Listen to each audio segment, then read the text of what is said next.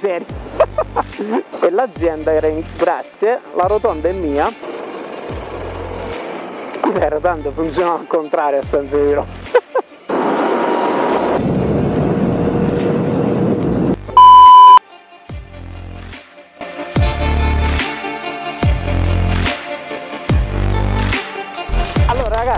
cosa fondamentale. Iscrizione like condividete. Fatemi questo piacere perché se saliamo con il numero di iscritti se il canale cresce riesco a portarvi sempre nuovi test ride. Quindi questo è l'unico modo che avete per supportarmi. Buongiorno ragazzi ci ritroviamo oggi di nuovo per un test ride particolarissimo alla KTM Motoservice di San Severo perché il buon Antonio ha deciso di farmi provare un mezzo un pochettino particolare oggi. Parliamo di una Royal Enfield Interceptor C50, competitivissima sul prezzo perché parliamo di 2-3 mila euro mancanti rispetto quindi alla Moto Guzzi Bussette e alla Triumph uh, Street Twin che più o meno hanno le stesse caratteristiche estetiche, quindi parliamo comunque di tre heritage che si contendono quindi questa fascia di mercato. Qui abbiamo un rapporto qualità-prezzo elevatissimo perché parliamo di circa circa 6.400 euro a parte la messa su strada. Esteticamente si presenta in modo meraviglioso perché potete vedere questa colorazione azzurra qui fantastica. Abbiamo un bel manubrio rialzato con contagiro e contachilometri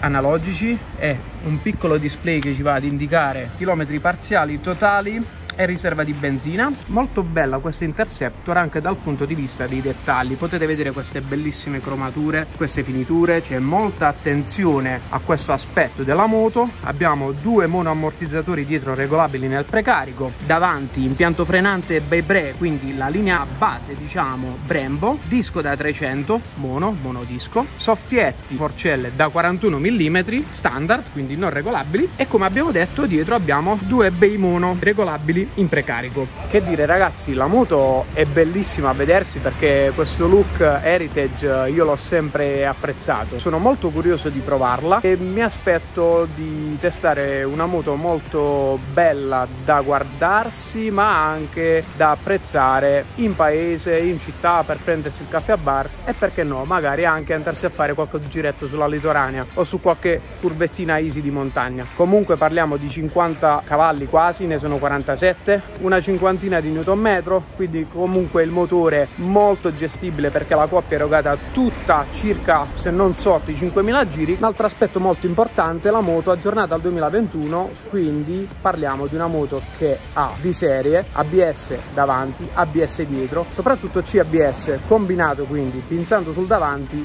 pinza anche un po' dietro e viceversa. E soprattutto è una Euro 5 come è giusto che sia per una moto 2021 il motore è un bicilindrico fronte marcia 650 cc e come potete vedere raffreddamento aria perché ha le alette sulle teste, olio, perché ha qui questo bel radiatorino che va a raffreddare l'olio, quindi misto. Molto belle queste rifiniture, queste cromature, davvero ben fatta. Riprende esattamente la linea che era quella delle Interceptor degli anni 70, perché dovete sapere che la Royal Enfield fino agli anni 70 era un marchio inglese, produceva in Inghilterra, subito dopo ha deciso di spostare il suo mercato in India, quindi andiamo adesso al test ride e la proviamo un po'. Ok ragazzi, iniziamo questo bellissimo test ride, vediamo innanzitutto di sentirla all'accensione. Beh, beh, beh, beh. Sound check. Bellissima. Cambio morbidissimo, cioè è proprio un burro. Non si sentono nemmeno gli innesti. Perdonate le scarpette da ginnastica, ma tornando dal lavoro. Ciao ragazzi, ci vediamo dopo iniziamo questo test ride come mi ha consigliato il caro Antonio della Motoservice KTM di San Severo che avete appena visto che vi consiglio di andare a trovare iniziamo a vedere un pochettino questa Royal Enfield CS50 che praticamente è una moto indiana. Quindi siamo passati dalla moto cinese Benelli 752 alla indiana. Pare sia stata la Royal Enfield una delle più vecchie aziende di moto. Dovrebbe essere datata 1891 e fino al, 900, fino al 1970 ha praticamente prodotto moto in tutta Europa in tutto il mondo e l'azienda era in grazie la rotonda è mia. L'azienda ha quindi prodotto moto in Inghilterra per poi spostare la produzione in India perché a quanto ho letto su Wikipedia non c'era più possibilità di fare concorrenza alle giapponesi che negli anni 70 hanno invaso il mercato di mezzo mondo quindi spostando la produzione in India hanno probabilmente cercato nuovi mercati, ridotto i costi, se non fosse il fatto che negli ultimi anni hanno deciso di provare a assaggiare la fetta di mercato europea. Pare che stiano avendo un bel successo perché di queste ne vedo parecchie in giro. Fa concorrenza a Triumph Crit Twin fa concorrenza anche a Moto Guzzi V7 Mark 3 se non sbaglio. Prezzo partenza 6.400 euro più la messa su strada comunque di serie ha il maniglione il cavalletto centrale e un altro paio di cosette e ABS fronte e retro ABS combinato è una moto Euro 5 quindi rispetta tutti gli standard soltanto il look è molto classico. Heritage vengono definite. E è una moto perfetta da passeggio bellissima da vedere a mio modestissimo avviso perché sembra di avere una moto d'epoca quando in realtà la moto è modernissima. Anche il motore pare essere comunque di modernissima concezione nonostante il raffreddamento sia aria-olio. Il ragazzo della concessionaria mi ha detto che i consumi sono assurdi, fa circa 30 km con un litro nonostante il serbatoio sia da 13 più 2 di riserva, quindi una quindicina. Deve essere sicuramente una moto con la quale divertirsi la domenica mattina, farsi la passeggiata, utilizzabile sicuramente sicuramente per andare nel quotidiano tutti i giorni al lavoro perché vi devo dire adesso un po' di sensazione alla guida. Allora comoda e comoda cioè la triangolazione sella manubrio pedane è ottima per la città perché io ho comunque le gambe abbastanza larghe da vedersi questo serbatoio è stupendo. Dimenticavo un altro optional che viene incluso invece in questo modello base è il serbatoio con la chiave che a quanto pare non è una cosa così scontata sulle Heritage invece qui c'è. Cioè, ma io mi sa che faccio bene a superare sto camion se no il video esce una cagata. E eh, mo ha deciso di correre la moto nonostante il peso è molto maneggevole, parliamo di 220 kg in ordine di marcia, eppure non si notano perché vi devo dire che è estremamente agile, sembra una bici elettrica. Sotto comunque le vibrazioni sono abbastanza modeste, non è un bicilindrico di quelli che ti fanno vibrare tutto, però le sensazioni sono davvero gradevolissime perché si sente questo rombo così soft, premium sotto il sedere, non so come definirlo, i blocchi blocchetti sono molto semplici, frecce, cla... Porca miseria! Vabbè, tralasciando il dettaglio del clacson che è una figata pazzesca, abbiamo dei blocchetti semplicissimi con luci di posizione abbaglianti, start, stop, freno e frizione specchietti tutti belli cromati giustamente. Vediamo un pochettino il motore di che passa è fatta. La coppia dovrebbe essere al massimo tra i 4 e i 5.000 giri quindi già diciamo siamo nei valori massimi di coppia.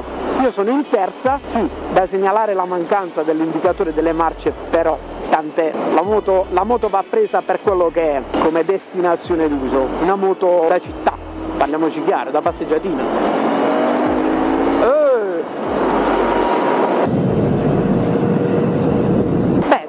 tanto da città non direi, che bella spinta, bella, molto interessante, 47 cavalli ne sembrano tanti di più. E il bello è che la coppia è tutta in basso, sono solo 50 Nm, ma ce le ha già 4-5, la moto è pronta, bella reattiva, ha un'erogazione molto easy, sicuramente ben spalmata su tutto l'arco dei giri, ma è piacevole. Ecco, devo dire in effetti si nota la mancanza della protezione da, dal vento, è completamente naked e noto anche che il suo essere così spogliata la fa sbacchettare un po' qui e là anche con un po' di vento. Tenete presente che le sospensioni sono molto basilari da 41 mm, non hanno possibilità di essere regolate, non sono rovesciate, fanno quello che è il loro mestiere, sopperire alle asperità dell'asfalto, né più né meno, e lo fanno bene perché i fossi in paese non li ho sentiti per niente. Gommatura particolare perché dietro abbiamo un 130 17 e davanti un 110 90 con il cerchio da 19, una modifica richiesta su queste è aumentare le dimensioni del pneumatico posteriore da 130 a 150 e pare che faccia cambiare la moto da così a così, però parliamo di una cosa fatta fuori dal libretto, quindi la moto si comporta abbastanza bene, è molto agile, mi diceva che è molto permissiva anche in piega, bella la spinta di questo SIE 50 bicilindrico, frenata, frenata ok.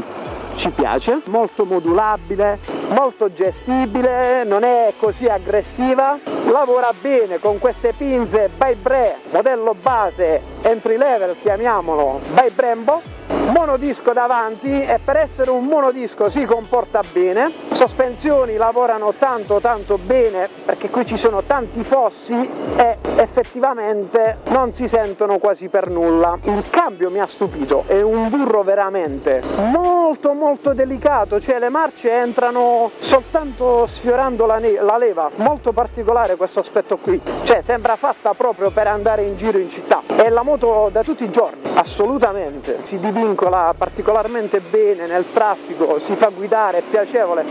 E non manca anche un po' di brio eh?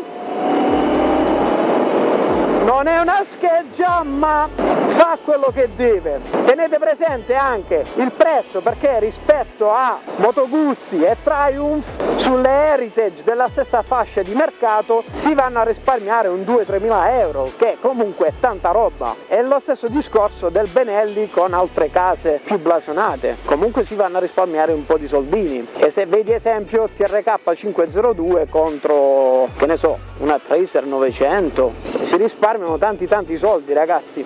Spendessi io questi 6.400 euro circa sarebbero ben spesi. Magari la prenderei usata di un annetto o due però se la dovessi comprare nuova diciamo che i soldi che vengono chiesti valgono fino all'ultimo centesimo la costruzione mi pare anche ottimale, ben fatta, non noto nulla di malvagio, ci sono tante belle rifiniture cromate, la moto è curata nei dettagli, non sento nessuna mancanza in particolare.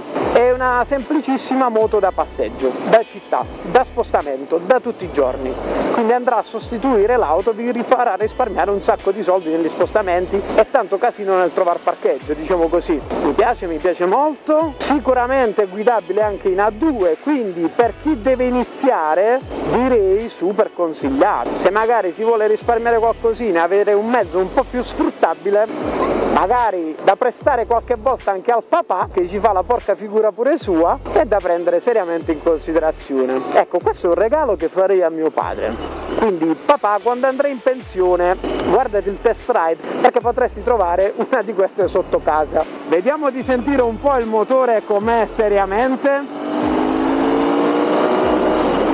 Limitatore a 7.5 come giusto che sia, frenata c'è, ABS sento che interviene giusto il minimo, non è eccessivamente invasivo e il bello è che la coppia è spalmata veramente su tutto l'arco dei giri, quindi è un motore molto sfruttabile, è tanto tanto disponibile.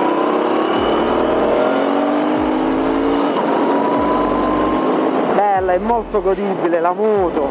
Mi dispiace soltanto che questo test ride sarà abbastanza breve perché purtroppo non c'è tanto da dire se non poche e preziose cose essenziali. Quindi ricapitolando, bello il motore, disponibile, pronto, buone le sospensioni, fanno il loro lavoro, buoni i freni, tanta sicurezza avendo anche l'ABS combinato sia davanti che dietro. Buono anche il fatto di avere come optional il cavalletto centrale e il maniglione dietro, belli tutti i dettagli, le rifiniture, buono anche il prezzo, bella la maneggevolezza, è una moto che convince guarda quanto è bella pronta. E che? 47 cavalli ne sembrano 70 bella. Molto molto bella. Bacchetto un po' davanti però. Vediamo un pochettino come si piega. Eh sì un pochettino instabile però ci sta dai. È un pochettino all'arrembaggio però dai si fa rispettare questo 650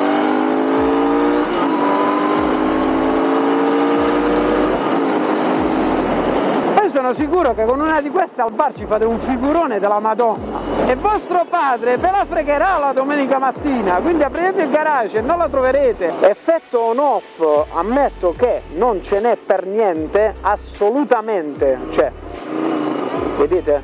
Comunque lei è docile nell'apertura, si inserisce, si infila dappertutto perché è piccolina. E la cosa che stupisce ragazzi è questo peso fantasma perché ho la sensazione di guidare un 300 ma piacevolissima, veramente mi ha stupito, anche da sentire sotto c'ha un sound bello pieno, corposo, non mi aspettavo un motore così gustoso, sono sincero, nonostante l'Euro 5 si fa sentire parecchio. Comunque ragazzi, se il video vi è piaciuto, like, condividete, iscrivetevi, importantissimo per far crescere il canale, per consentirmi di portare altri contenuti. Fatemi sapere qui sotto nei commenti che cosa ne pensate di questo test ride in particolare, che cosa ne pensate del mio format, se avete da darmi dei consigli, piuttosto che farmi delle critiche, io sono sempre disponibile anche su Instagram, cbredder86 così come sul canale YouTube, perciò seguitemi anche lì sopra. Proviamo una partenza brucio semaforo.